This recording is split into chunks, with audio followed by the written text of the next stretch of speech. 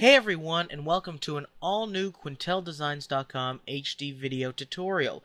I'm very proud to announce that this tutorial today is going to be our first tutorial in full 1080p HD. So now we're in full Super HD, as much quality as we can cram into these things, and uh, I really hope you get a lot of benefit out of that and uh, enjoy the image quality. Full screen this bad boy, and uh, if you're not seeing the HD button, you can visit QuintalDesigns.com um, and see all the videos in HD there, or the Vimeo account for Quintal Designs, vimeo.com slash Quintal. In Adobe Illustrator, let's make a new print document. Now, why am I choosing print document? Well, personally, I like the default sizes. A nice letter size, so 8.5, 11 sheet of paper. We'll keep it uh, vertical, and we'll call this Jalar Inked. So this is pretty much the digital process of inking a comic book in Adobe Illustrator, and the technique I'm going to use and show you is a little different. First, let's place in our image. File Place. Select Jalar, and you can see he's pretty much, as he was on 8.5, 11, he's pretty much the size we need him already. Let's take Jalar, and we're going to put him on layer 1 and create a new layer called layer 2. Layer 2 we'll rename and we'll call this artwork. Layer 1 we'll call it sketch. Special thanks to Enrique again. I mean, this is a great sketch, and uh, it's really going to work well from an Adobe Illustrator standpoint. We're going to put the sketch above the artwork layer. And then we're going to go to the transparency palette, kick it down to about 50%. Hit enter. Now, why 50? Well, yes, it's still taking up uh, all of our screen real estate and maybe even uh, affecting what we see, but we want to still see as much line detail as possible. In fact, don't be afraid to even go darker, like a 65%. Yeah, that's even better. And we'll lock that layer with the lock palette. Now in our artwork layer, we're going to use uh, a type of Illustrator technique I sort of call the cutout technique. Now, the reason why we're going to use this technique is because I personally think it creates for comic book art a more realistic effect, um, like it's actually been inked by a pencil or paper. Um, and you're going to see that the strokes aren't all the same weight. And uh, well, rather than continue to explain it, we're going to jump in here and show you. So, I'm going to use my navigator to zoom in. You can also do Control Plus on the keyboard. I just like navigating around, holding down the spacebar, clicking. It's a good way for me to work. And uh, to demonstrate this, we're going to, well, I'm going to show you a little bit of what I'm talking about, uh, work on that for a little while, and then I'm going to speed up the video so we're not wasting too much of your time. Um, with with process and interaction. I'll slow down and highlight any important points. So let's grab our pen tool, the almighty pen tool. And our pen tool, we're going to make it cyan, drum it all the way up to 100. Select our stroke right here, and I'm over in the color palette. And get rid of our stroke, go back to cyan. So what we're basically making with our pen, you can see here, a big solid cyan piece of art. Delete that away. So now uh, I'm going to start tracing Jalar here and um, watch the technique I use. Um, it should be uh, maybe a little different than what you're used to seeing in some other tutorials. So I zoom in really close and I start right on the edge. And remember, if you click once, you get a straight line. If you click, hold down, and drag, you get a curved line. And there's not too many perfectly straight lines in a piece of artwork like this. So you can see the screen moving itself. That's always a new challenge uh, if you don't use the Illustrator a lot.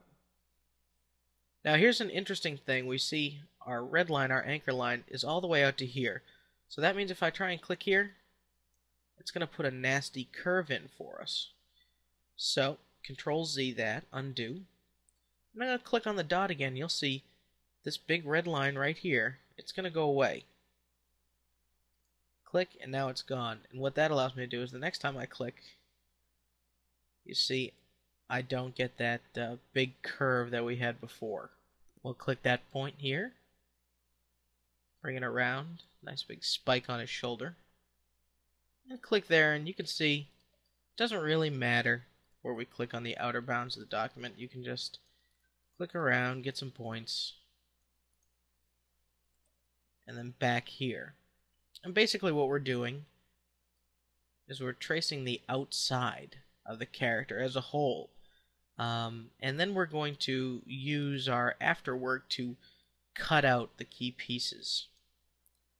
So again, you can see almost every single point I have, I'm clicking again to get rid of that previous curve. Zooming in is always helpful. He's got these horns and they're a little bit indented. We'll worry about some of that detail later.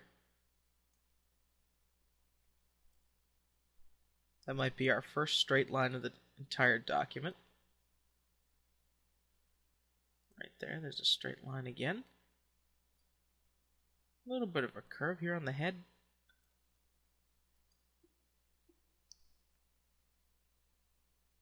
And now Enrique here ran out of paper space, so we're going to take it all the way out there to get his horn completed.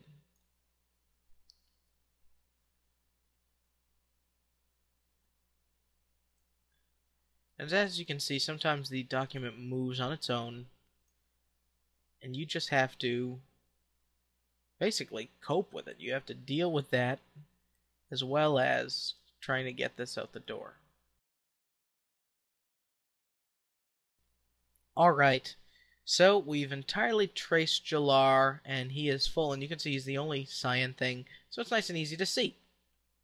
Now we're going to go in and we're going to start cutting out the details. So we get, um, obviously, um, the details that were drawn, and um, we we avoid that look that Illustrator can sometimes have of the same. You know, it's clearly a one point stroke here. Um, to sort of illustrate what we're going to do, I'm going to show you in a box over here on the right. Normally in Illustrator, if you make a shape, and you give that shape a stroke. We'll give this one a red stroke. You can adjust different sizes of the stroke, but it almost looks, in a sense, too perfect. Now if I take that same exact square, and as opposed to giving it an automatic stroke, I sit there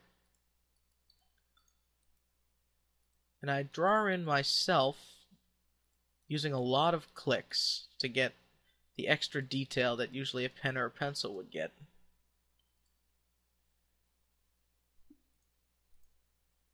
You're going to see pretty quick. And when we turn this red, that the effect is a little bit more hand-drawn. So comparing these two things, we have the straight Illustrator perfection and the hand-drawn sort of randomness of, of real-world art. And that's the look we're going for. So I'll delete those and show you how we do that with our friend Jalar here. First, let's choose white as our color. And remember to get rid of the stroke. Just made those boxes, so that's important. And right on the artwork layer, we're going to select our blue. And we're going to hit Control 2.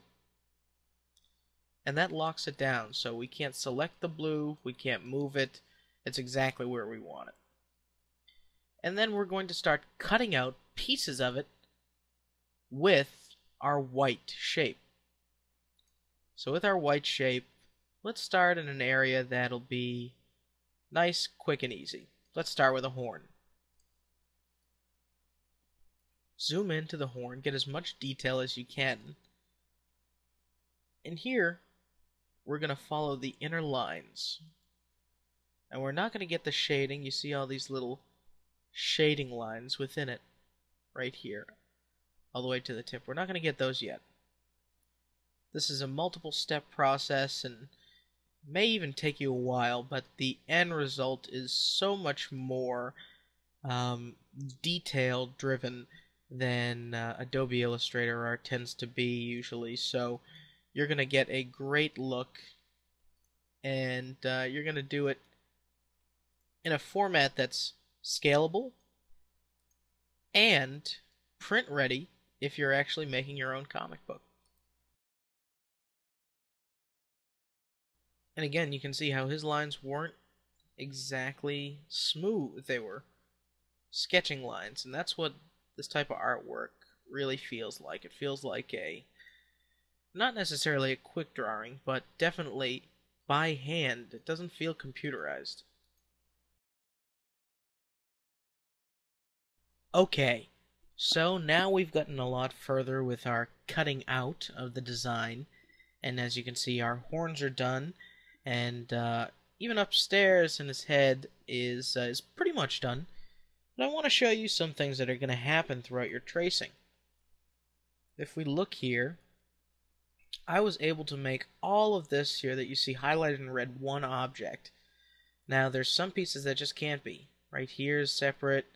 This is separate because there's clear black lines. Um, well, they're cyan at the moment, but there really be black lines in the end separating these things. So your job then is to take the pen tool and just go over and get these tiny little parts here that you see. Like maybe this is a little too thick and you think that it needed a little little bit more. And you can see how many how many points I made there. There's a lot of clicking going on. Um, how to avoid making it too heavy in some spots and lighter in others um, is really up to you. But you're going to get moments where things just don't fit. So I couldn't make this part of one object, even if I, I really wanted to, it would just make it too complex, this horn. So we're going to pick cyan from our color palette. We're going to go in and we're just going to draw this one horn. And I'll zoom in for you and let's watch how I try and keep this one object. I'm going to come around the bottom. And you can see there's a small break, break here uh, in Enrique's line. So we're going to seize that opportunity to come in here and actually catch some of these finer details. And it's okay if they're not perfectly touching in the Illustrator file, because some of it won't be even seen. But we're going to wrap around. It's almost like we're tracing the inside of the horn. Now, there's a clear line right here that breaks these sections, but I'm going to break that rule as an anchor and come around for the sake of making this one object. Continue to trace, and you see here inside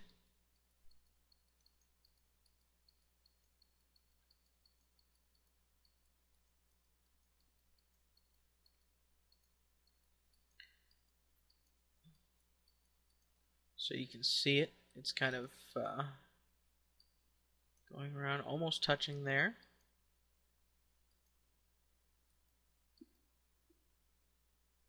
And then finally, right there at the end. And if you wanted to, you could even go in and connect that piece afterwards with a separate line. And you can see in just one object here, we've got our entire horn. So it's important of grouping these to be as simple as possible without losing detail because once it's time to start coloring this, then it's going to be our responsibility to say, well, what goes where, where's the shading, and um, the less effort we need to put in to figure out what sections belong to what, the better. So that's really going to help us in the end. So now we're slowing down one more time. And uh, you can see I pretty much did all that I could with that one object. Um, and it still left some sections undone. So the bottom of the mouth, this eye here, sort of its detail. And uh, we're just going to continue to plug away. So this whole thing right now has run me about 15 20 minutes. So just going to continue doing it and uh, speed it up for you guys.